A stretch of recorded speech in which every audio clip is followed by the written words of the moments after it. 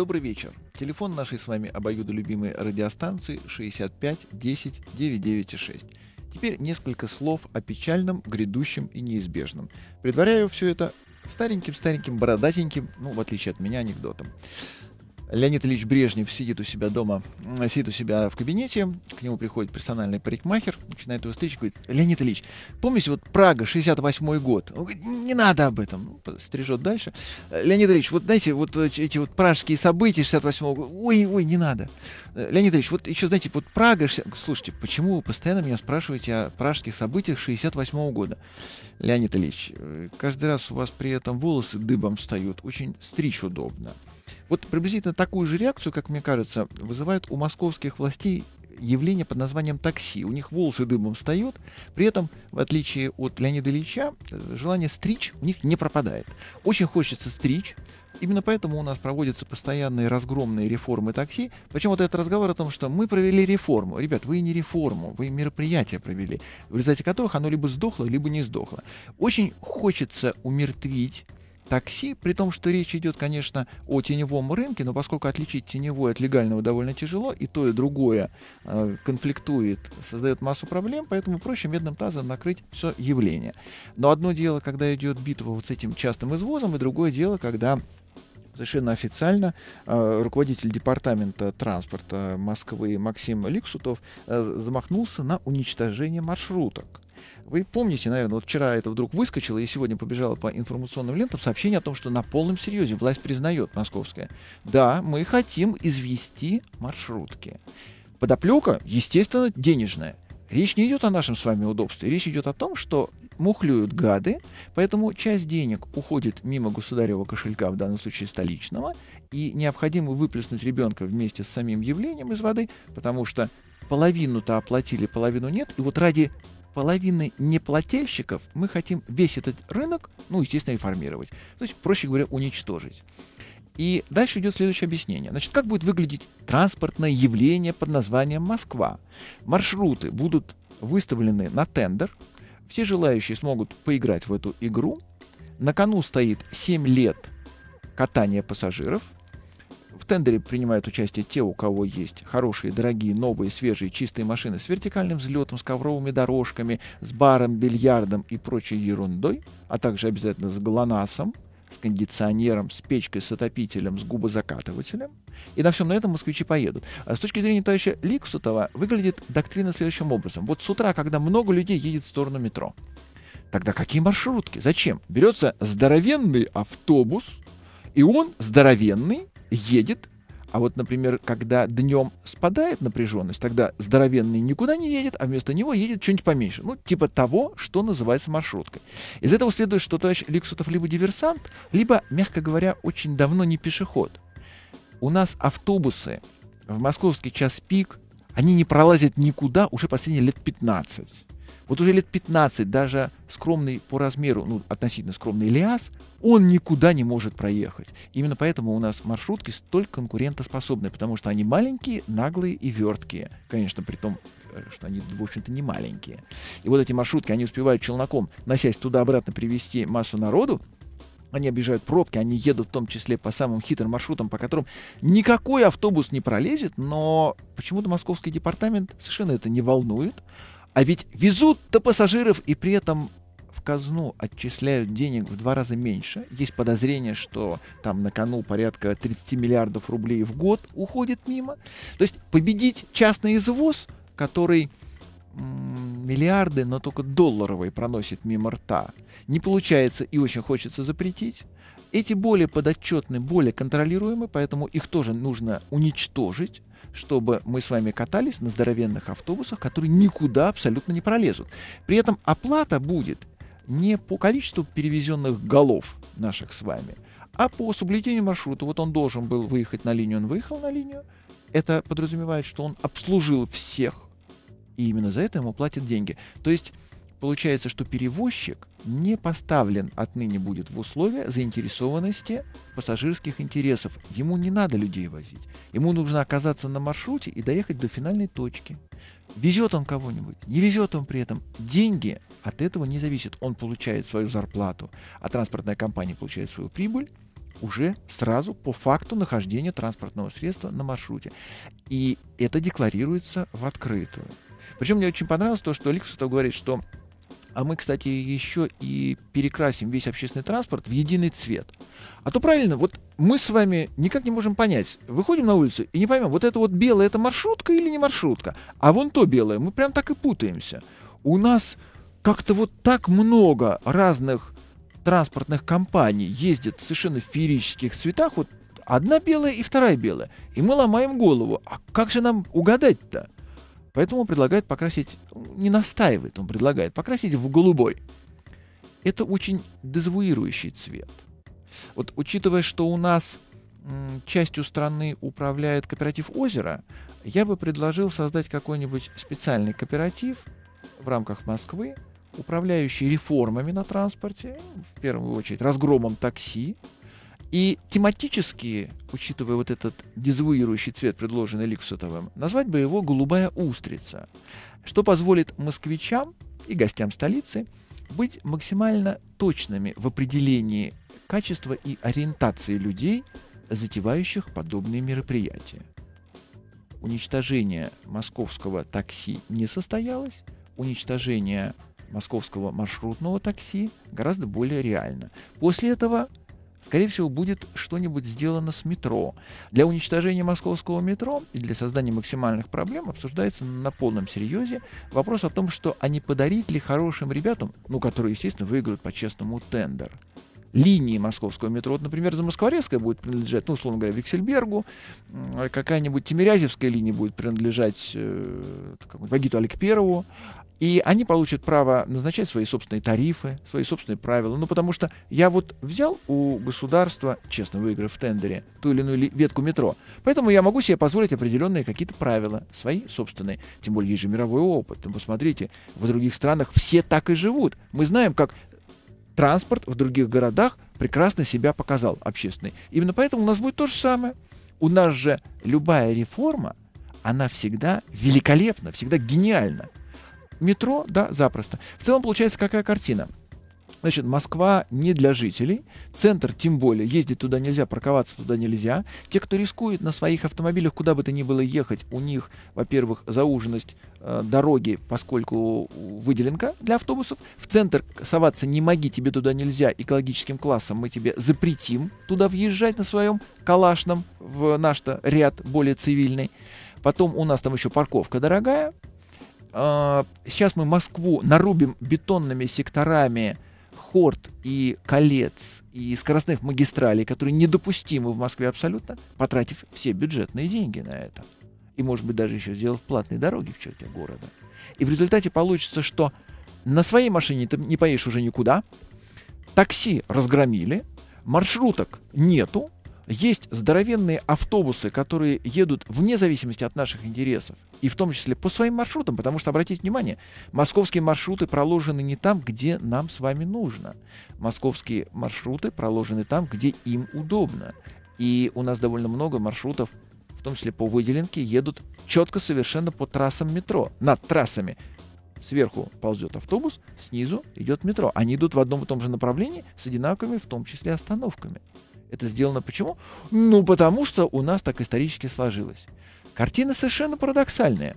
Значит, жить в этом городе уже совсем никому не надо, и жить в этом городе уже совсем не позволяется и будет окончательно невыносимо. Это любопытная такая затея, она касается уже не только транспорта, она касается всех нас, причем идет расширение географии, вот этот вот э, прирост на юге Москвы земель, которые не сильно обитаемые, но сильно подорожавшие, у меня складывается очень неприятное подозрение. Ну, то, что мы здесь лишние, это ясно. Из Москвы, с одной стороны, никто не хочет уезжать, она притягательна. А с другой стороны, затягивание петли, в том числе и бетонные, и транспортные на шее у нас, это намек на то, что те, кто, видимо, привык к городской жизни, должны уступить место тем, кому это понравится. Происходит замещение населения, в том числе коренного населения, пришлым, менее притязательным, способным э, работать на вспомогательных работах. И, значит, Москва — это будет город для очень небольшого процента избранных и всего остального персонала по обслуживанию их. То есть будут те, кто должен накормить, почистить, убрать, постирать. Все остальные не нужны. Я бы в этой связи все-таки московскую и центральную власть из Москвы переселил бы куда-нибудь на берег, ну, там, где свежий воздух, э, Северного Ледовитого океана. И, во-первых, в центре страны, во-вторых, недосягаемо, очень хорошо будут там играть в свои игры. Пока эксперимент идет над нами. И вот уничтожение маршрутного такси, которое официально заявлено, это ведь не я сказал, уничтожение. Это как раз цитата, поскольку речь идет, у Ликсотова идет именно о ликвидации маршрутного такси. Вот все вместе эти затеи говорят о том, что нам в этом городе не место. К сожалению, мы это прочувствовали на себе и будем чувствовать впредь. Сейчас я прервусь на новости рекламы, а потом вернусь к вам. Телефон прямого эфира 65 10 996. Вчера я не успел ответить на вопрос Леонида. Напомню, он купил Discovery 3. Машина у него 2008 года, он на ней ездит год и никак не может понять, почему так много анекдотов о том, что машина ломучая. Его опыт свидетельствует об обратном. Машина замечательная, за год она ни разу не сломалась, влюбила в себя хозяина и безбедно существует и, видимо, будет существовать. Ответ на этот незатейливый вопрос на самом деле еще проще, потому что предыдущий хозяин Леонида все починил в этой машине. Чуда не произошло, технологического рывка нет. Машины идеологически очень правильные, по качеству изготовления это как было, так и остается, мягко говоря, не эталонное явление.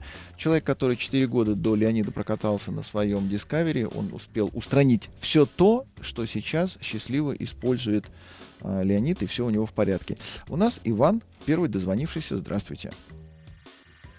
Иван. Алло. Иван, это вы в эфире. Здрасте. Алло, здрасте, Сергей. А, я да? Да. Иван, скажите сразу, а как вы относитесь к идее уничтожить в Москве маршрутки? Алло, Иван. А я вообще уже давно не понимаю здравого смысла, вообще истинных э, целей, к которым стремится правительство, как Москвы, так и страны. Ну, у вас не возникло ощущение, что вы, так же, как и я, лишние в этом городе? Ну, может быть, даже в стране. Иван? Ну, не хватайтесь за сердце, Иван, не хватайтесь за сердце. Существование в каких-то параллельных реалиях. Это да, но одно дело, наблюдается. если бы они жили бы на своем облаке и не тревожили нас, это было бы еще терпимо. Но они же не олимпийские боги, они на землю постоянно спускаются и что-то тут творят. И вот, например, идея избавить нас от маршруток, она как вам? Понравилась? Ну, значит, появятся другие маршрутки. Нет, то, что уничтожить все не получится, впрочем, как и нас с вами, это понятно, но вот эти порывы меня, например, смущают. Иван, что у вас? Что у вас наболело? А я вам писал сообщение, меня все-таки очень интересует машина Renault Traffic. Да, вы несколько они, дней подряд э, пытаетесь они, про этот... Э... Практически мало, мало информации, при этом как-то вот хочется что-нибудь про нее услышать. А что именно вы хотите? Вы, вы же ее собираетесь перегонять откуда-то там из-за рубежа, насколько я понимаю. Хочется новую, а в комплектации Generation она, ну, наверное, из Беларуси. Да. Вот имеет ли смысл гнать ее из Беларуси новую, поскольку, поскольку у нас общее единое таможенное пространство. Ну и вообще, да вообще... в сравнении, скажем, она... с, с, с транспортером, с мультивеном, вернее. Ну, мультивен, каравелл, транспортер, одно и то же. А вы в чем сравниваете? Вы пытаетесь понять стоимость обслуживания, э, перспективы по эксплуатации? Ну, в общем, наверное, да. Стоимость эксплуатации. Volkswagen будет чуть-чуть подороже и в чем-то чуть-чуть понадежней. У Renault очень хороший дизель. Он же, кстати, эта же самая машина, она же еще по совместительству является Opel. Это одна и та же штуковина, только ну, она в, раз, в разных странах продается под разными именами. И он, в общем-то, Европу на себе таскает. Тем более вы, когда его пригоните в нашу страну, вы получите здесь сервисную поддержку. На мой взгляд, Peugeot Boxer лучше, чем Renault Traffic, потому что у него и ценник по техобслуживанию э, чуть-чуть более лоялен. Французы в этом отношении друг на друга пристально смотрят. Немец, да, чуть дороже, чуть выносливее. Еще тут же Ford Transit, пожалуйста. Э, во всей своей красе, и гамма у него огромная. Дальше, пожалуй, дальше уже вот э, родственник Mercedes Volkswagen, который спринтер. То есть следующая ступенька. Не, ну, я имею в виду машина для личного пользования. При цене практически в полтора раза ниже, их очень мало. Вопрос почему? Потому что эта штука дорогая и ломучая. Только поэтому.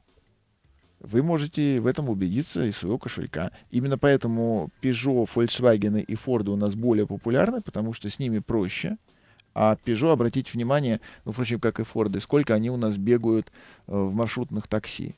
И по 200 тысяч они выкатывают без суровых проблем при том, что эти машины там переделаны многократно, поскольку пришли к нам они коммерческими фургонами, потом в них поставили салоны, и все эти переделки, все эти вторжения, они потребовали в том числе проникновения в электрику, и все равно не смогли загубить машину, она на линию выходит достаточно исправной. Вот а, та линия, по которой я пользуюсь, маршрутками, пока еще не уничтоженных московскими властями, там а, у пежиков уже по 200, 220, 230 тысяч на одометрах, и я специально у водителей спрашиваю, какие проблемы, они мне все очень жалуются жалуются на дворники. Они говорят, не, ну это же резина-то какая, ну сколько ж можно, вот я уже третий год на ней езжу, а уже ничего не видно. А поменять? Он говорит, не, ну хозяин должен менять, что я из своего кармана, что ли. А все, остальных проблем нет. И а, причем у Peugeot, у него, у Peugeot Citroёn, у него как раз э, программа, что называется, клиентской лояльности. Они со своим корпоративным э, клиентом очень по-доброму решают многие вопросы, и в том числе по гарантийным случаям. Сам был тому многократно свидетелем. Ой, а, продолжаем а, общаться. У нас Сергей на линии. Здравствуйте, Сергей. Здравствуйте. Сергей, как вы относитесь к идее расстаться с маршрутками в Москве? Очередной бред. Вообще, конечно, проникся вашей речью. Вот. Внушает, что называется. Ну, а вот за ту инициативу, что введены выделенки, это вот господин Собянин у нас или Лексутов? Ну, Собянин вот. у нас все-таки главный ароматизатор, все-таки он повыше, это э, рыба-то у нас начинается оттуда, а Алексутов это человек, который у него реализует непосредственно транспортные порывы. Ну, вот да. того человека, который именно генератором вот этих выделенных, я желаю вечных мукада и гореть в аду. Вот. Я надеюсь, ему передадут. Им да. обоим. Они Глаз народа. Да, они на пару. Ну, э, вдруг они не в курсе, как мы к этому относимся. Мне все-таки кажется, идея создать кооператив «Голубая устрица», чтобы мы точно знали, как их называть, в данном случае абсолютно правильная. Это мягко сказано. То есть вы, вы э, знаете это название в более резкой редакции? Кто же не знает? Да. Классики никто не знает. Да.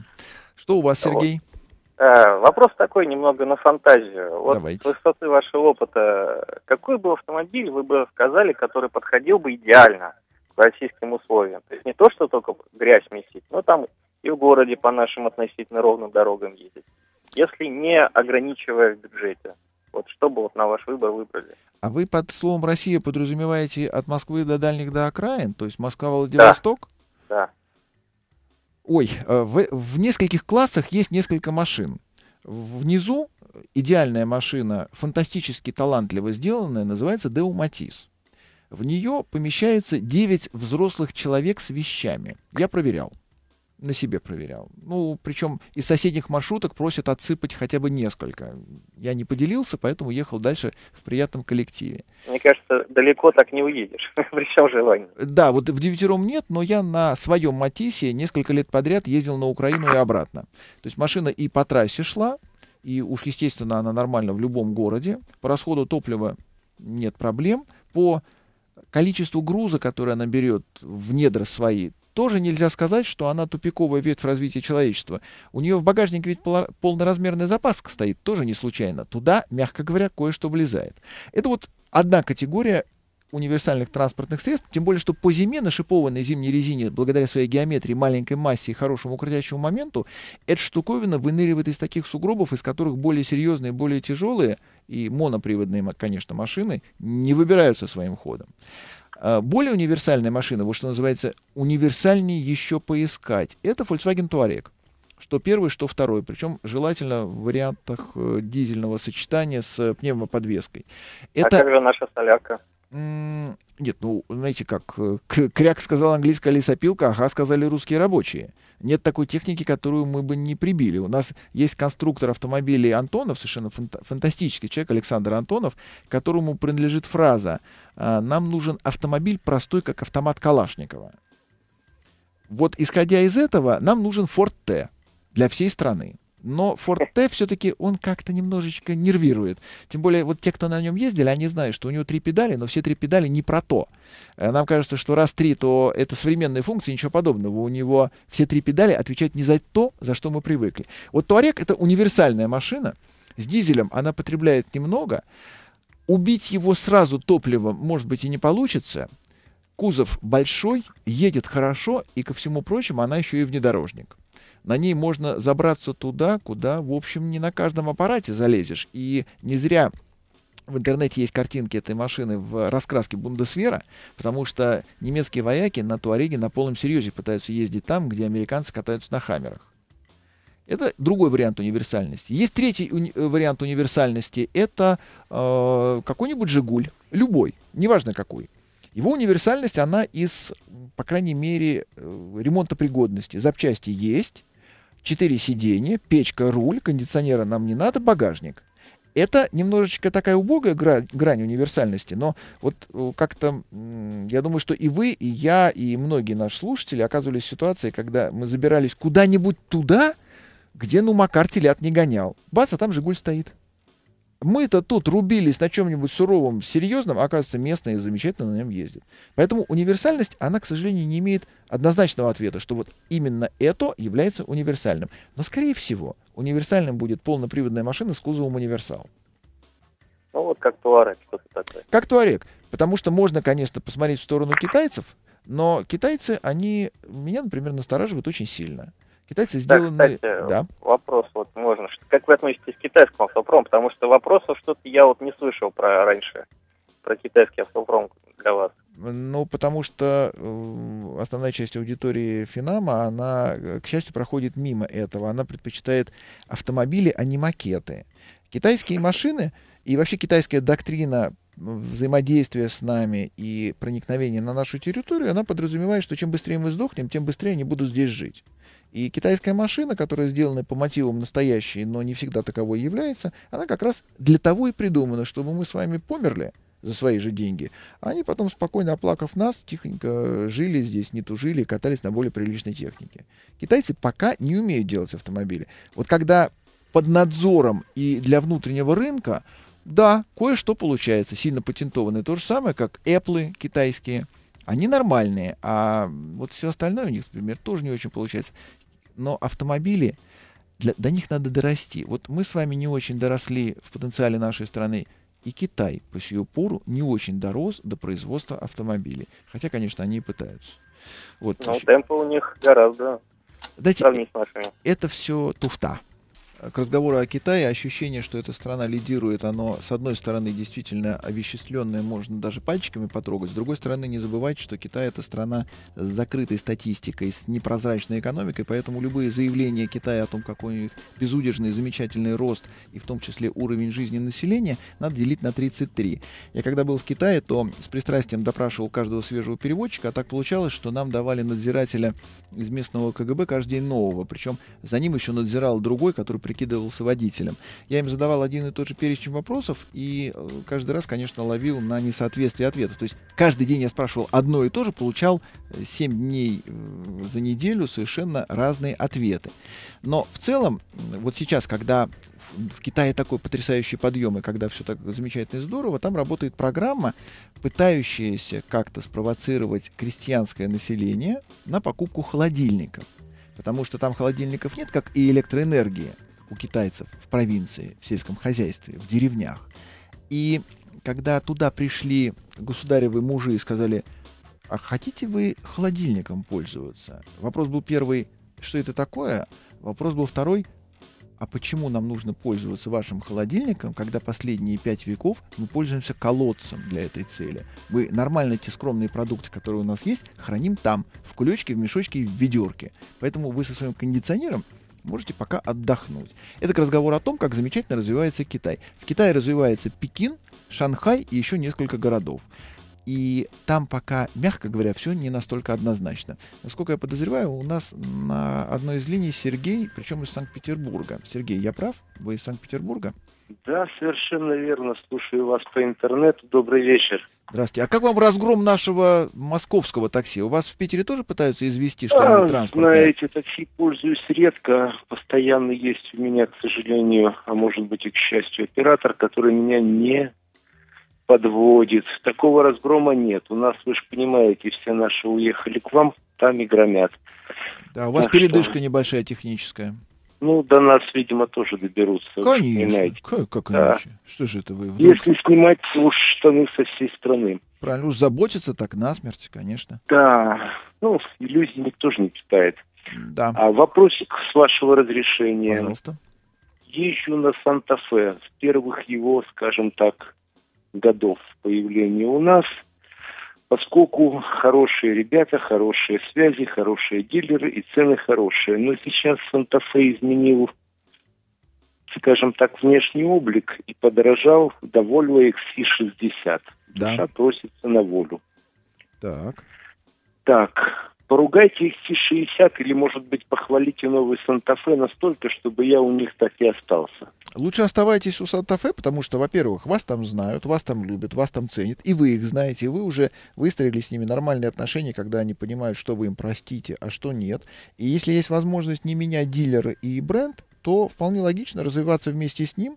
Новый Санта-Фе — это замечательный совершенно кроссовер, это большая, легковая, удобная машина — на ней суровое бездорожье где-нибудь под Новосибирском лучше не трогать. Но выехать из Питера в сторону Москвы и не потерять колеса шанс есть.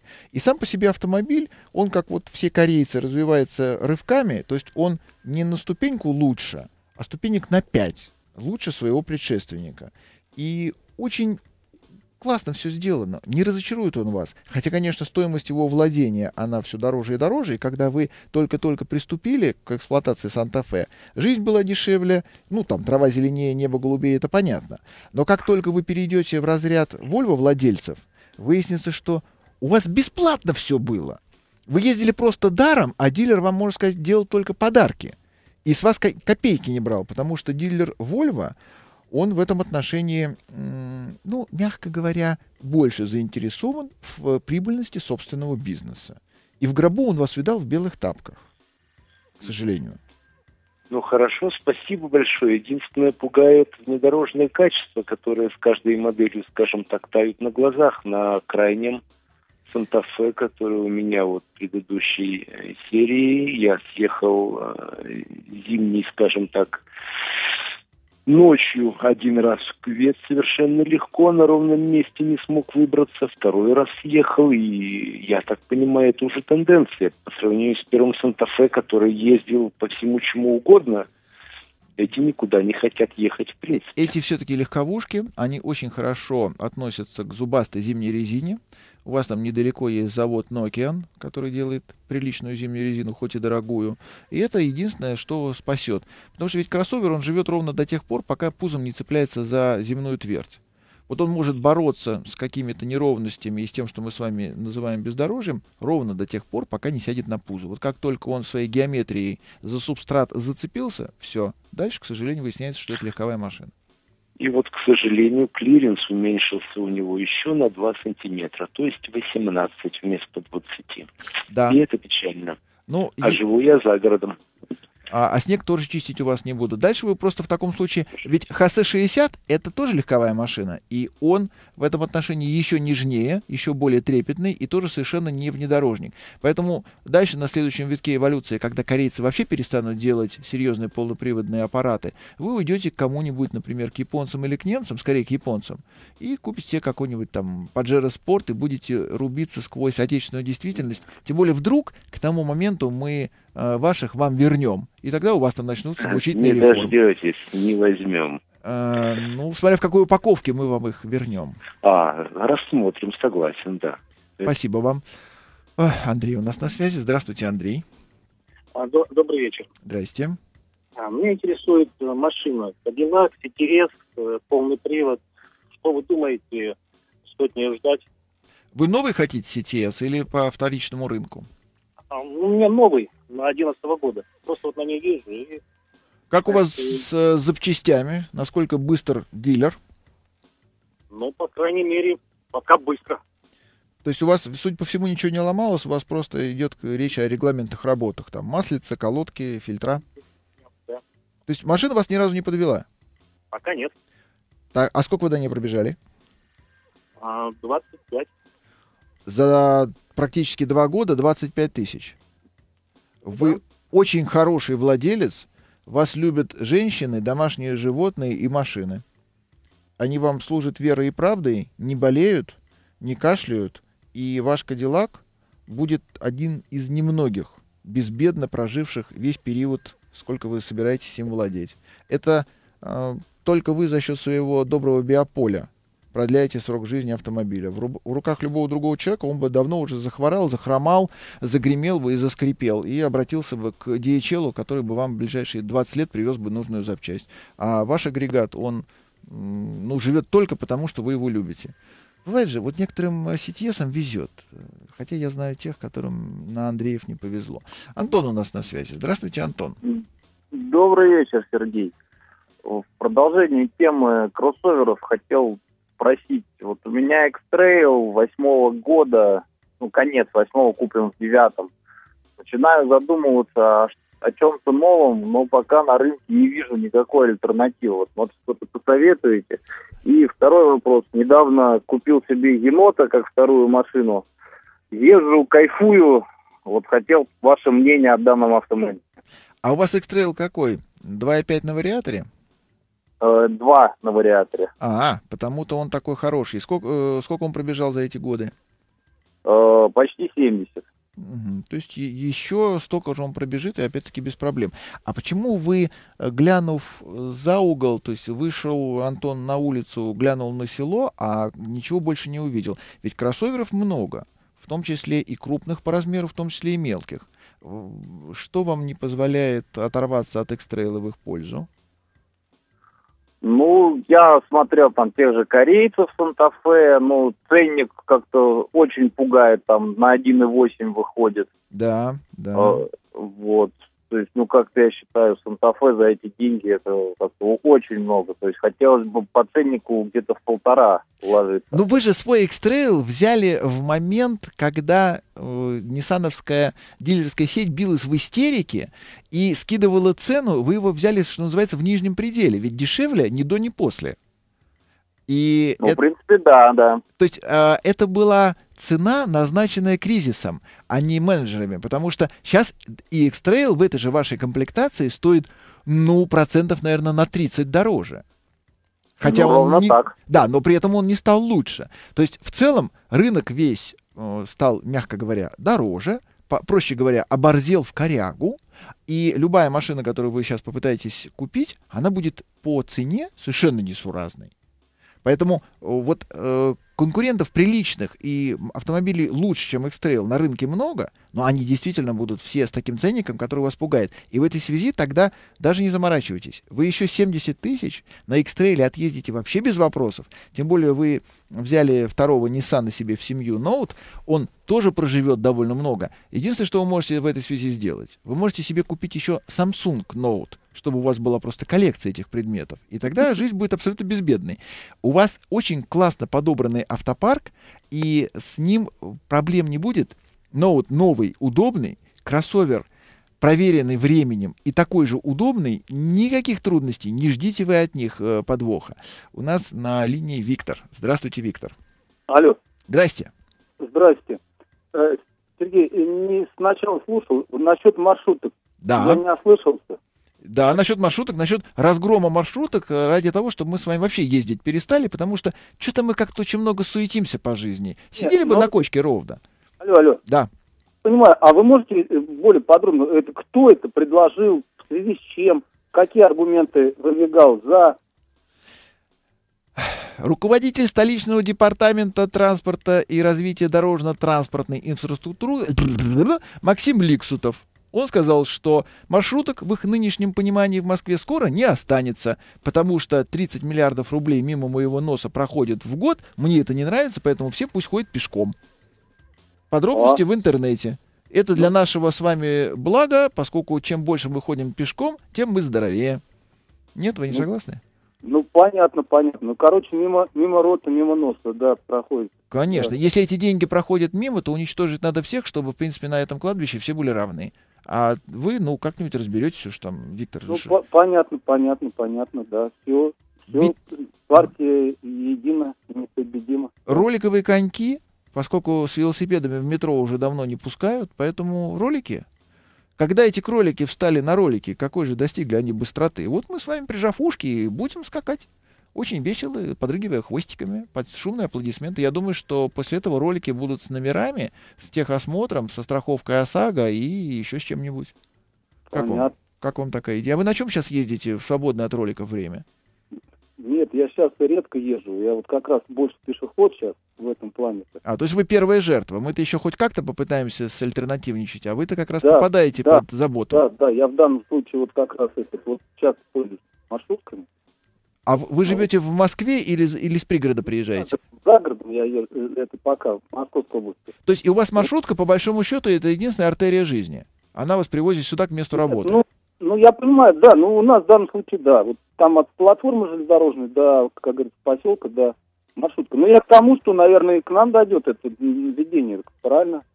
Ну, там может быть не сразу, тем более у вас очень осторожный владелец Московской области, он после Шойгу чихнуть боится, он это сделает не сразу. А наши резвые, наши, вот они уже засучили рукава и хотят сделать э, голубой вагон бежит, качается, потому что они то, что останется, хотят в голубой цвет покрасить. Ну, чтобы мы сразу понимали, как правильно называть авторов реформы. Не зря же эта голубизна прет у них из подсознания. Понятно, понятно. Спасибо большое. Спасибо вам. Прервусь на новости и рекламу, вернусь к вам. Вопрос сайта. Алина выбирает себе Opel Antaro два двигателя, либо 3.0 бензиновый, либо 2.2 дизель, какой лучше. И там, и там автомат. Вообще, дизель, конечно, лучше. Он очень интересно сделан, замечательно реализован, и самое главное, что вместе с коробкой автомат у них полнейшее взаимопонимание. Но, Алин, вот мужчине бы точно сказал, берите дизель, не пожалеете. Вам на всякий случай, в целях э, топливной безопасности, возьмите бензин, с ним проблем меньше. Андрей спрашивает, выбирает между Шкодой Румстером и Volkswagen Golf Plus, это тот, который чуть повыше. В семье двое детей, цены у них практически сблизились. Что могу посоветовать? Посоветовать я могу Peugeot Partner TP. Это более удобная, более универсальная, более правильная машина. Если партнер TP вам по какой-то причине не нравится, а Румстер и Golf Plus вам кажутся максимально близкими по всем параметрам, тогда бросьте монетку. Это будет совсем правильно. У нас Алексей на связи. Здравствуйте, Алексей. Здравствуйте, Сергей Степанович. Самое популярное имя, наверное, для, для ваших Да, да. Среди автомобилистов наверное... это самое такое частое имя. Да, да, да. Или, может, мы более активны. Э, вот. И самое э, часто задаваемый вопрос в связи с расширением семьи, да? Да. А, но здесь у меня даже больше, наверное, будет крик души, нежели э, совет в выборе авто. Совет в выборе авто вы мне дали еще, может быть, около полугода назад. Выбрал автомобиль замечательный C-класса, Шкода Октавия. Вот, наверное, один из самых правильных автомобилей, да, ну, как может быть с моей точки зрения. С моей тоже. Вот, да, и э, старался взять новый автомобиль, но очень сильно разочаровался. Э, разочаровался в чем? Наверное, я вам писал, что э, кто же его собирает? А, Калуга. его, Здравствуй, родная Калуга. Продает, да, так. кто же его продает? Какие же люди его обслуживают? И когда выходишь, смотришь, умиляешься видом этого автомобиля, то все остальное идет э, ну, по коту под хвост, как говорится. Криво стоящий руль, обслуживание от дилера. Вот пять раз мне пытались изменить этот руль на положение прямое, и так и не сделали. То есть битва Хотя с подрамником на самом... Volkswagen, битва с подрамником, исправление ломиком, угу. все эти, всегда, все эти страшные, как говорится, процедуры. Э, не запуск двигателя. Э, на заводе тоже была такая у них весной проблема, что ну, какой-то партии автомобилей залили какое-то не то масло. Ух ты! И все двигатели э, с ужасным скрипом и звуком э, не заводились, то есть машины, машины в ужасном состоянии приводились все на эвакуаторах и меняли э, масло по гарантии. Как бы дилер тоже об этом знает, и мне это сделали. Причем машина новая. Вывал... Вдобавок ко всему вывалилась там кнопка центрального замка. И вы знаете, такое отношение было к машине, когда тем более к новой, тем более к такой проверенной. Мне Выбор так был осознанный. Да. Осознанный, да, что проверенная и надежная машина уже из года в год. И хотел именно взять старый кузов, вот который нынешний, да, Да, допустим, да, потому да, да. что новый, что, что не хотелось сталкиваться ни с какими проблемами. Но случилось, но дело в том, что машину-то мы покупаем не только как саму машину, но и возможные проблемы, которые может э, с, ней- с ней- с ней случиться, но не дилер, не представительство, претензии, в которые пишешь и самым перезваниваешь, ну что там, ну никак практически не реагирует. Скажите, что Алексей, мне- Алексей, Да, картина да, б- поля боя понятна, усеяна трупами. А теперь, Мгм. вот вы каждый раз заявляли один и тот же дефект, и у вас есть заказ наряд. Или это не У было... меня есть пять заказ нарядов, пять заказ нарядов, а шесть раз я посещал дилера. И, и это, и эти все пять заказ нарядов на самом деле официально подтверждают наличие этой неисправности. Конечно, конечно. А мы считаем до трех, после чего берем учебник Антона Недзветского по защите прав потребителей и, вооружившись его знаниями и адвокатом, требуем заменить на товар надлежащего качества. А у вас тем более Ну, гарантийный период еще. Вы знаете, а, так как знаю, что судебный процесс, он э, не краткосрочный, а очень долгосрочный, и я люблю, в принципе, эти вещи, но год еще терпеть, допустим, такого качества автомобиль у меня просто нет э, ни желания, ни возможности. У меня единственное сейчас желание поправить эти исправности и отдать почти новый автомобиль с пробегом, с пробегом 5000 в другие хорошие, надежные руки. И надеюсь, что поломок больше может и не случиться. Но общаясь с дилерами, общаясь с представительством, у меня просто нет желания, так скажем, эксплуатировать замечательную Да, марку Шкода, согласен. но купленную в России. Меня бы тоже это отравило. А тем более, Алексей, ведь у вас же полная засада, а, потому что сейчас еще в Москве маршрутки изведут, и будет совсем тяжело. Это совсем будет тяжело, тем более у меня, ну, ждем ребенка и так далее. Хотели, хотели радоваться только этому, но приходится ради, радоваться и купленной марке Шкода. Но, то есть вы, вы от судебной тяжбы уклоняетесь? Но, но вы знаете, э, я знаю, что это принесет дополнительные нервные затраты, это и денежные издержки, на которые я сейчас не готов пойти, понимаете? В общем, нет да. такой просто возможности. Э, Лучше а радоваться- придется. Да, лучше радоваться ребенку и новой машине, чем э, эту печаль тащить на себе. Это поскольку нескончаемо абсолютно. Хотя победа над дилером, она так окрыляет, а победа над представительством, э, загнутым в бараний рог. О, Андрей у нас на связи.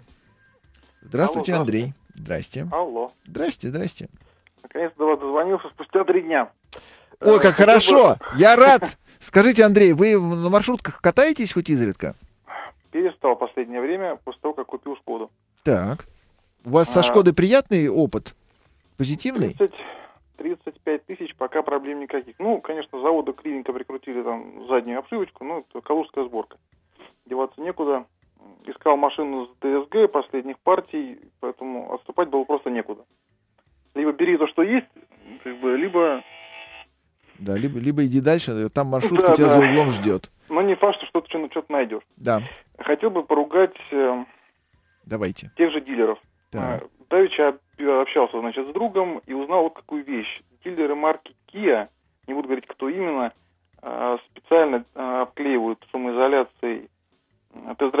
автомобили, ну, естественно, об этом не говоря тому, кто будет проходить этот тест-драйв. И человек его проходит, думает, какая у меня замечательная машина, зачем мне, допустим, какие-то там Мерседесы, ну, машины высшего э, класса.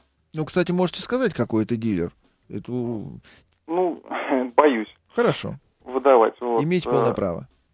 Как в, такой, ситу- как в такой ситуации бороться? Я, слава богу, уже приобрел, но вот э, на будущее. Ну, там обстучать внешние панели, крышу, двери. А когда я приобретаю автомобиль, а он оказывается без шумоизоляции, я понимаю, что это уже не то. Как мне с ним бороться? Вы, до- поскольку обман не докажете, э, и у вас не будет прямой, э, что называется, причинно-следственной связи, вам не обещали конкретно эту комплектацию, эту машину, они всегда сошлются, скажут, что это индивидуальная особенность. Если вы хотите... Все. Абсолютно. То есть от мала до велика, Да, от пиканта, неважно. Да, ну все тест-драйверские машины. А потом выясняется, что клиент покупает совершенно другое. Если вы хотите задаться целью с ними сразиться, то вам нужно скрытое видеонаблюдение и утечка информации. Потому что, будучи, будучи человеком со стороны, прийти и доказать умысел и наличие будет очень тяжело. Вы, вам юридически не позволено вторгаться в их семейные отношения и в чем бы то ни было их обвинять. Поэтому получается, что вы всегда заранее в проигрышной позиции. Вы приходите и говорите, ребята, нечестно играете. Они говорят, «Э, Андрюш, пошел нафиг. И, и в общем-то, дальше что? Либо м- снизу в челюсть, либо юридического разговора не получается. А для того, чтобы кого-то хоть как-то притянуть хоть к какому-то ответу, нужны документы. У нас суд рассматривает не факты и не события, он рассматривает бумажки. Если вы приносите бумажки, из которых следует, что Вася Иванов гад, тогда Вася Иванов гад. А если вы, например, приносите труп, вы говорите, слушайте, на труп бумажки нет, значит, он живой. Вот пока на труп не будет бумажки, мы не признаем, что он труп. Поэтому, когда где-то кто-то мухлюет, мухлюют они на самом деле с утра и до ночи то... Со стороны-то, естественно, я не приду, но если я покупаю, и потом это обнаруживается. Э, друг мне сказал, что один из клиентов все-таки выбил у них полную шумоизоляцию своего автомобиля свежекупленного, свежеприобретенного. Э, молодец. Значит, в таком... Интересно, каким образом? Ну, в, в, таком, в таком случае можно попытаться сделать это только при наличии диктофона. И когда вы берете машину, вы же не сразу ее забираете, оголтело, ускакав уже в светлое завтра. Бывают и такие. Да, ну в данном случае вы уже не такой, потому что вы э, с некоторой настороженностью подозреваете здесь некий подвох. Вы уже получили товар из рук, еще не подписали документы о приемке, о том, что они исполнили свои договорные обязательства, красиво катитесь по двору, потом говорите, а почему здесь нету шумоизоляции? И после этого развиваете скандал в нужную вам сторону. Потому что а, заставить кого бы то ни было пойти на дополнительные затраты, это тяжелая задача. У них ведь Э, главная причина, по которой они работают в этой сфере, это потому что у них не получилось украсть в другом месте. То есть их задача обобрать вас, а вы что-то необбираемый какой-то. И это странно. Поэтому борьба может быть только на нюансах. Эти нюансы требуют от вас некой оголтелости, хорошо подвешенного языка. Потому что само по себе в вашу пользу оно не повернется. Как можно выиграть любой спор? Любой спор выигрывается натиском и умением жонглировать словами и аргументами. Если вы это не умеете, будучи трижды правым, вы проиграете. Это не касается автомобиля, это касается по жизни, всего на свете. Спор выигрывает тот, кто громче кричит. Тут я с вами согласен. Хотел бы не криком, а цивилизованно все-таки. Цивилизованно? Вы когда в страну въезжали, красную тряпочку видели? Помните, как в старом анекдоте? Слава богу, в ней родился. Слава богу, мы все здесь родились. Но, Алексей, это, э, Андрей, это очень, э, очень э, длительная битва, и эта битва выигрывается только в случае, если у вас, что называется, такая совсем уже безудержная мотивация. Иначе вы приходите и говорите, я чем-то недоволен. Он говорит, ну и что? И это ну и что, оно на самом деле разбивается практически все сразу. Вся аргументация накрылась медным тазом. Дмитрий у нас. Дмитрий, здравствуйте. А, Сергей, добрый день. Здрасте.